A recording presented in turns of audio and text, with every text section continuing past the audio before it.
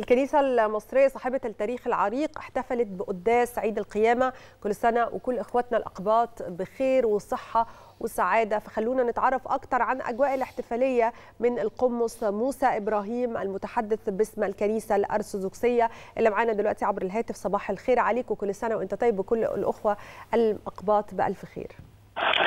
وحضرتك طيبة وكل المصريين بخير. إحنا في أيام مباركة أيام مفرحة كلنا طبعا في فترة أعياد سواء المسيحيين النهارده أو المسلمين عقب يعني خلال أيام. يعني كل سنة وحضرتك طيب يا رب وكل إخواتنا المسيحيين بألف صحة وسلامة وعيد سعيد على الكل بقى. بس إحنا بنحتفل على الجميع. يا رب.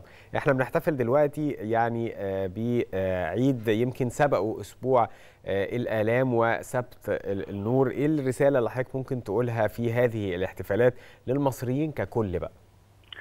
يعني أقول بمناسبة انتهاء أسبوع الآلام ومجيء عيد القيامة اللي بيمثل يعني انتصار روحي و اجتياز نعم. فترة من الضغوطات والآلام إلى نصرة القيامة. أقول أنه يمكن ده نموذج لحياة الإنسان أنه بعد كل آلام وأتعاب يأتي آه تأتي الانفراجة ويصل الإنسان إلى أهدافه ويجتاز العقبات إلى مناطق الراحة يا رب. ليه حضرتك أعلنت اقتصار تلقي التهاني والمباركات على مساء السبت؟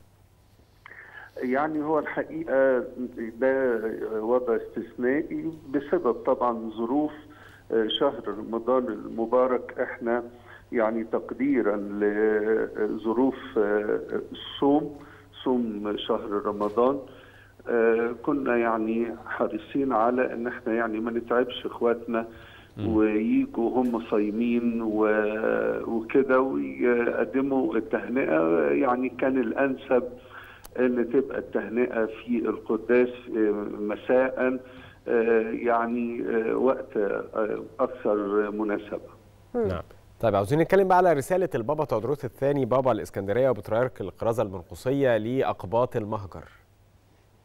آه يعني الحقيقة هو قداسة البابا كان حريص هذا العام نعم. إنه تكون الرسالة سواء في رسالة أقباط الرسالة البابوية لأقباط المهجر أو حتى في عظه الأمس. إنه يتكلم عن النظرة الإيجابية للحياة. نعم.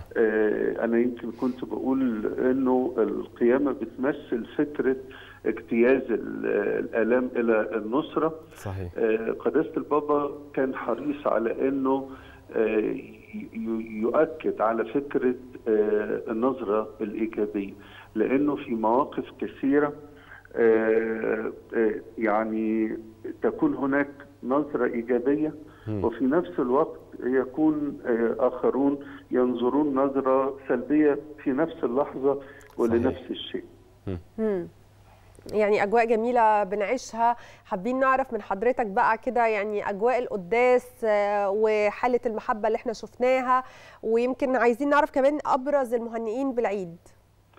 يعني هو الحقيقة الأجواء زي ما حضرتك اشرتي كانت أجواء مليئة بمشاعر الود والمحبة وشهدت الكاتدرائية تواجد أعداد كبيرة جدا من المهنئين ربما أكثر من سنوات سابقة يعني كثيرون جاءوا لتقديم التهنئة بكل المحبة والود. أبرز المهنئين بالطبع كان على رأس المهنئين فخامه الرئيس عبد الفتاح السيسي اللي أناب عنه كبير أمناء رئاسة الجمهورية.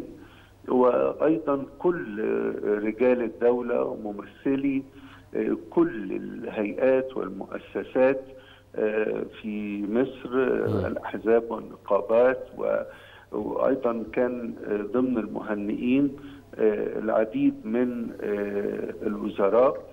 أيضا فضيلة الإمام الأكبر وفضيلة المفتي أرسلوا مندوبين. وهكذا. يعني وسفراء الدول والجامعات المصرية وهكذا.